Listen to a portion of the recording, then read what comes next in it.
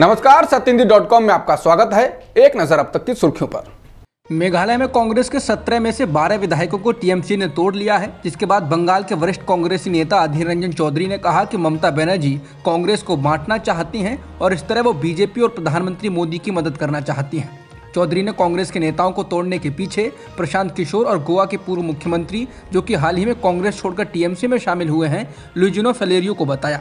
इसके साथ ही अधीर रंजन चौधरी ने ममता बनर्जी को चुनौती दी और कहा कि वो इन विधायकों से इस्तीफा दिलवाकर उनको फिर से चुनाव में उतारें और अपनी पार्टी के चिन्ह पर जितवा कर दिखाएँ। चौधरी ने कहा कि जनता ने कांग्रेस को वोट दिया था और इनको जिताया था। बता दें, आजकल ममता बनर्जी बीजेपी से अधिक कांग्रेस को खोखला करने में ध्यान दे रही हैं। दिल्ली हाईकोर्ट ने आज उस याचिका को खारिज कर दिया है जिसमें सलमान खुर्शीद की अयोध्या पर आई किताब पर बैन लगाने की मांग की गई थी। हाईकोर्ट ने खुर्शीद की नई किताब sunrise over Ayodhya, nationhood in our times के प्रकाशन, प्रसार, बिक्री और खरीद पर प्रतिबंध लगाने से इनकार कर दिया। साथ ही कहा कि अगर आप लेखक से सहमत नहीं हैं तो इसे ना पढ़ें। लोगों को बताएँ कि किताब अच्छी तरह से नहीं लिखी गई है और कुछ बेहतर पढ़ें। जस्टिस यशवंत वर्मा ने टिप्पणी की। याचिकाकर्ता की ओर से पेश हुए वकील राजकिशोर चौधरी ने कहा कि इस किताब के कारण देश भर में सांप्रदायिक तनाव पैदा होगा। कम से कम उस चैप्टर को हटाए जाने को कहा जाए और नोटिस तो जारी किया जाए। इस पर कोर्ट ने कहा कि अगर लोग ऐसा महसूस करते हैं तो कोर्ट क्या कर सकता है? अगर आपको पसंद नहीं है तो आप चैप्टर छोड़ सकते हैं और अगर उन्हें आहत महसूस हो रहा है तो वो अपनी आँखें बंद कर सकते हैं। एनसीपी नेता और महाराष्ट्र के मंत्री नवाब मलिक ने एक बार और नया खुलासा कर एनसीबी अधिकारी समीर वानखेड़े को घेरा है। नवाब मलिक ने समीर वानखेड़े की माँ जाहिदा का मृत्यु प्रमाण पत्र ट्विटर पर साझा किया और दावा किया है कि जाहिदा की मौत के बाद भी वानखेड़े परिवार ने फर्जीवाड़ा किया और दो अलग अलग दस्तावेज़ बनाए। मलिक ने दो दस्तावेजों को साझा किया है। जो मृत्यु प्रमाण पत्र है, उसमें समीर वानखेड़े की माँ का धर्म हिंदू बताया गया है, जबकि दूसरा दस्तावेज़ कब्रिस्तान का है, जिसमें उनके धर्म को मुस्लिम बताया गया है। मलिक ने कहा कि एक और फर्जीवाड़ा अंतिम संस्कार के लिए मुसलमान और सरकारी दस्तावेज़ के लिए हिंदू। धन्य है दाऊद, ध्यान दे। बता दें, नवाब मलिक का कहना है कि समीर वानखेड़े ने मुस्लिम होते हुए फर्जीवाड़े से दलित कोटे से नौकरी हासिल की। बॉम्बे हाई कोर्ट से आज नवाब मलिक को झटका लगा है। कोर्ट ने कहा कि अगली सुनवाई, यानी 9 दिसंबर तक, नवाब मलिक समीर वानखेड़े के परिवार के बारे में कुछ भी सोशल मीडिया पर साझा नहीं करेंगे। जस्टिस एस जे कथावाला ने कहा कि ये मीडिया प्रचार क्या है, जो वह हर रोज चाहते हैं।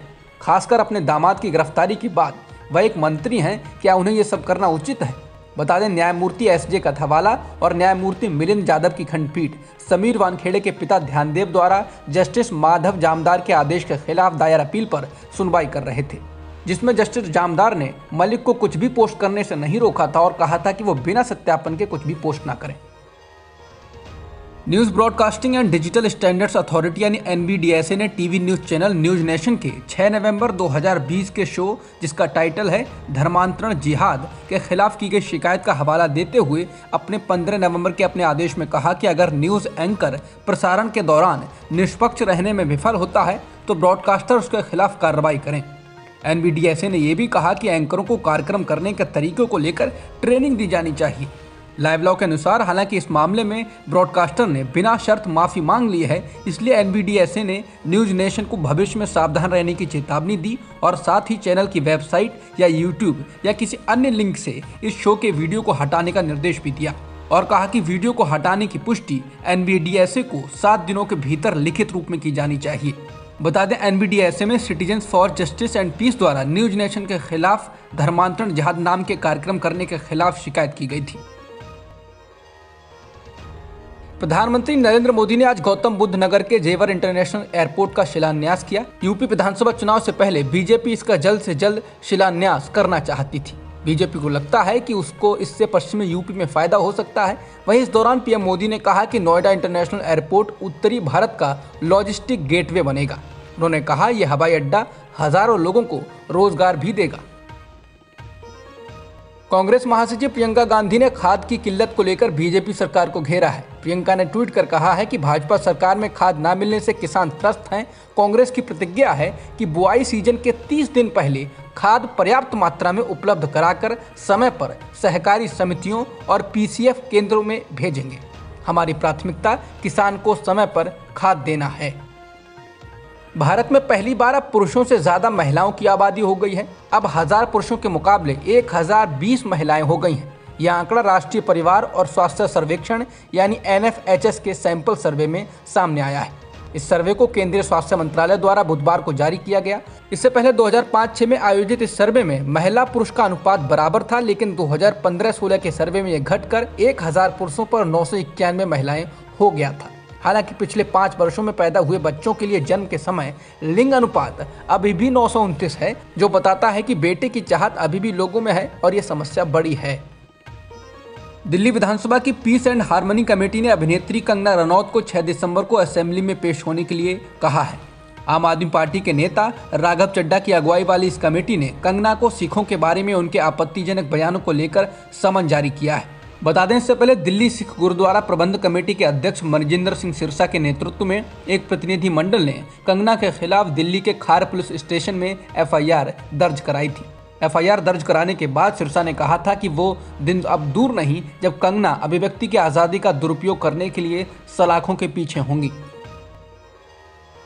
योगी सरकार के एक और मंत्री ने विवादित बयान दिया है। मंत्री का नाम रघुराज सिंह है। रघुराज सिंह ने कहा कि मदरसों से आतंकी निकलते हैं और अगर भगवान ने उन्हें मौका दिया तो वे सारे मदरसे बंद कर देंगे। उन्होंने कहा कि उत्तर प्रदेश में 250 मदरसे थे, जो अब बाईस हज़ार हो गए हैं और मदरसों में केवल और केवल आतंकी पैदा होते हैं। बीजेपी के नेताओं की इस जहरीली बयानबाजी की वजह से मदरसों के शिक्षकों पर कई जगहों पर हमले हो चुके हैं। त्रिपुरा में आज स्थानीय निकाय चुनाव के लिए मतदान हो रहे हैं। हालाँकि त्रिपुरा में निकाय चुनाव के प्रचार के दौरान से ही हिंसा और झड़पों की खबरें आती रही हैं। इसी को देखते हुए सुप्रीम कोर्ट ने त्रिपुरा सरकार के गृह सचिव, राज्य चुनाव आयोग और पुलिस महानिदेशक को यह सुनिश्चित करने का निर्देश दिया कि हर मतदान केंद्र पर केंद्रीय सशस्त्र पुलिस बल यानी सीएपीएफ के जवानों की पर्याप्त संख्या हो। कोर्ट ने यह भी निर्देश दिया कि मतदान अधिकारी किसी भी आपात स्थिति में सीएपीएफ कर्मियों की मदद लें।